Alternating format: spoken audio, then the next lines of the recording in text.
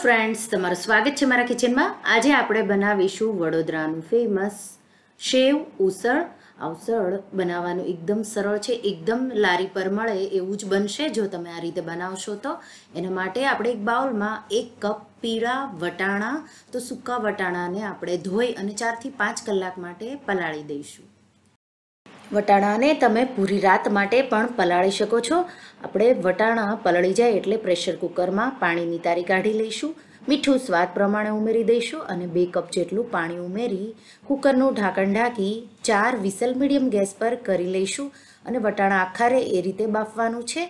હવે વટાણા બફાય ત્યાં સુધીમાં આપણે પેસ્ટ રેડી કરી લઈશું. તો ઉસળ વઘારવા માટે આપણે ચાર મીડિયમ ડુંગળી લઈ એની પેસ્ટ કરી લઈશું. તો લગભગ એક કપ જેટલી ડુંગળીની પેસ્ટ થશે. તો આ રીતે પેસ્ટ તૈયાર છે. હવે આપણે કડાઈમાં પાંચ ટેબલ સ્પૂન જેટલું તેલ ગરમ કરીશું. તમે વધારે પણ લઈ શકો છો તેલ. તો તેલ હવે ગરમ થઈ જાય એટલે બનાવેલી આપણે ડુંગળીની પેસ્ટ પહેલાં નાખી દઈશું. અને આપણે પેસ્ટમાંથી તેલ છૂટું પડે ત્યાં સુધી એકદમ સારી રીતે પેસ્ટને સાતળવાની છે.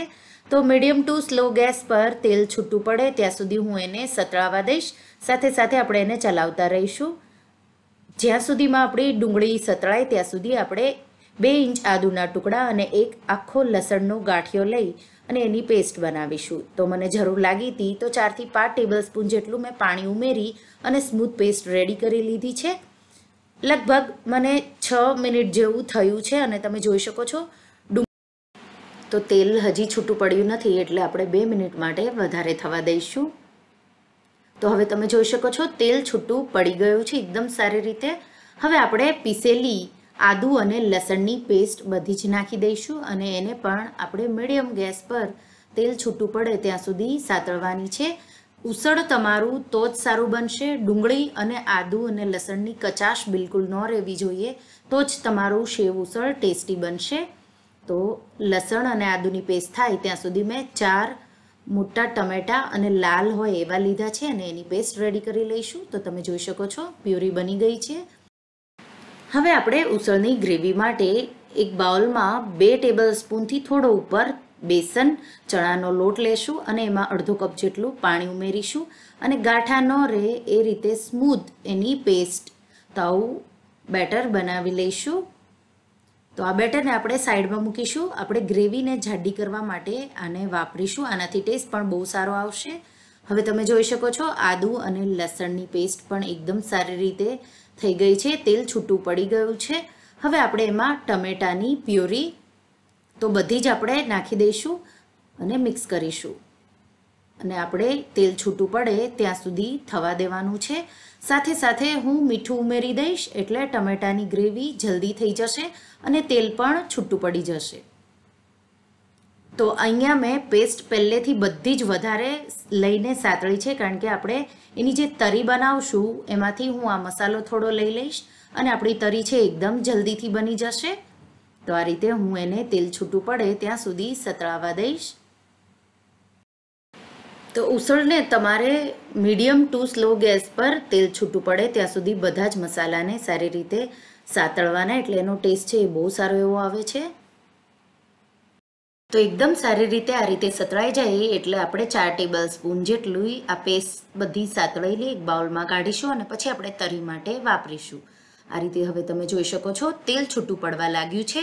આપણે એક ટેબલ સ્પૂન કાશ્મીરી લાલ મરચું, તમારે તીખું જો બનાવવું હોય તો અડધો ટેબલ સ્પૂન રેગ્યુલર મરચું અને અડધો ટેબલ સ્પૂન આ કાશ્મીરી લાલ મરચું લેવાનું. અડધી ટીસ્પૂન હળદર ઉમેરી દઈશું અને એક ટેબલ સ્પૂન ઉસળનો મસાલો.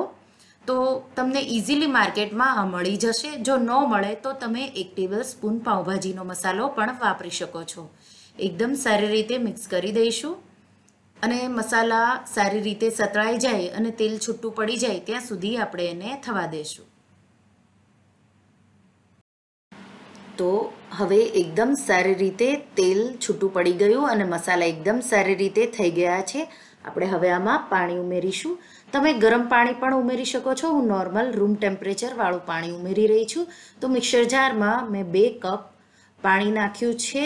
એ મેં નાખ્યું અને હજી આપણે એક કપ પાણી ઉમેરીશું. તમે ચાર કપ જેટલું પાણી પણ ઉમેરી શકો છો. તમારી ગ્રેવી કેટલી જોવે, કેટલા લોકોને સર્વ કરવાનું છે, એ રીતે તમારે પાણી ઉમેરવાનું. અમુક લોકોને ગ્રેવી વધારે જોતી હોય છે અને અમુક લોકોને ઓછી જોતી હોય છે, તો એ રીતે તમારે ગ્રેવી કરવાની. વટાણા બફાઈ ગયા છે, પ્રેશર મેં રિલીઝ કરી લીધી છે અને તમે જોઈ શકો છો વટાણા એકદમ આખા રે એ રીતે મેં બાફીને રેડી કરી લીધા છે. ગ્રેવીને આપણે એકદમ સારી રીતે ઉકળવા દેવાની છે. ગ્રેવી ઉકળવા લાગે એટલે બનાવેલી ચણાના લોટની પેસ્ટ આપણે તો પાતળી પેસ્ટ આપણે ઉમેરીશું. તો આ રીતે તમે જોઈ શકો છો. હવે આપણી ગ્રેવી ઉકળવા લાગી છે અને પેસ્ટને આ રીતે હલાવતા રહી ઉમેરીશું એટલે ગાંઠા ના પડે. પેસ્ટ તમે વધારે ઓછી તમારી જરૂરિયાત પ્રમાણે કરી શકો છો. આ પેસ્ટથી આ રસો છે એકદમ જાડો થશે અને શેવ ઉસળનો ટેસ્ટ છે એ બહુ સારો એવો આવશે અને હવે તમે જોઈ શકો છો, એકદમ સારી રીતે આ રીતે ઉકળવા લાગ્યું છે અને રસો પણ જાડો થઈ ગયો છે.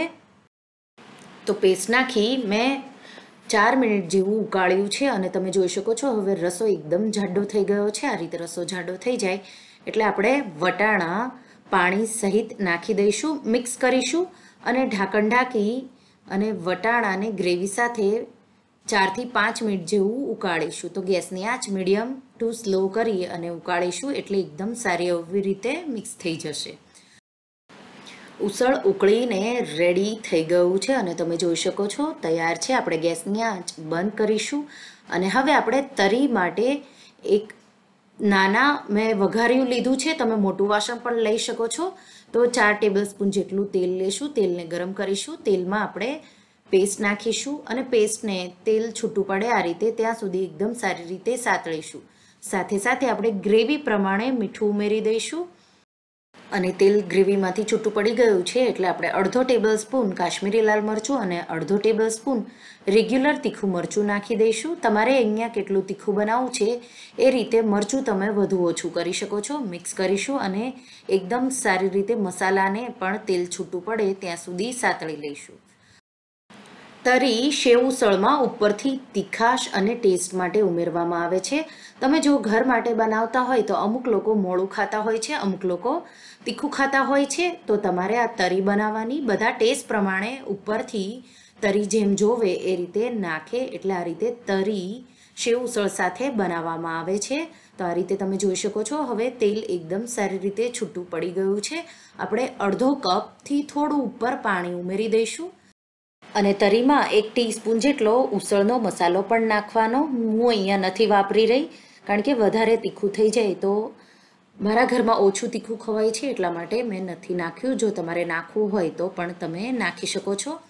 તો અડધો કપ જેટલું પાણી મેં ઉમેર્યું છે અને હવે આપણે ગ્રેવીને એકદમ સારી રીતે ઉકળવા દઈશું. તેલ છૂટું પડે ત્યાં સુધી અને મીઠું આપણે પહેલેથી ઉમેરેલું છે, એટલે હવે વધારે ઉમેરવાની જરૂર નથી.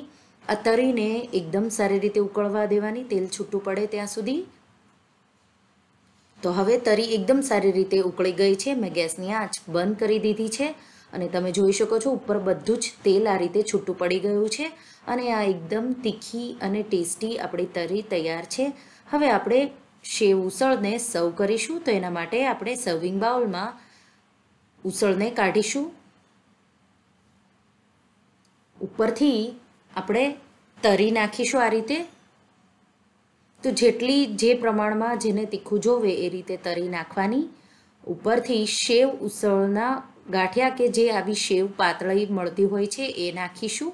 સાઈડમાં થોડી નાખીશું. ઉપરથી લીલી ડુંગળીના પાન. જો તમને અત્યારે લીલી ડુંગળી ન મળે તો તમે સૂકી ડુંગળી પણ વાપરી શકો છો. તરી સાઈડમાં બાઉલમાં આપણે કાઢીશું અને બ્રેડ સાથે અને એક્સ્ટ્રા શેવ સાથે તમે આ ગરમા ગરમ શેવ ઉસળને સર્વ કરો. તો એકદમ લારી જેવું ટેસ્ટી શેવ ઉસળ તમે ઘરે એકવાર જરૂરથી ટ્રાય કરજો. જો તમને આ શેવ ઉસળની રેસીપી ગમી લાઈક કરજો શેર કરજો અને મારા ચેનલને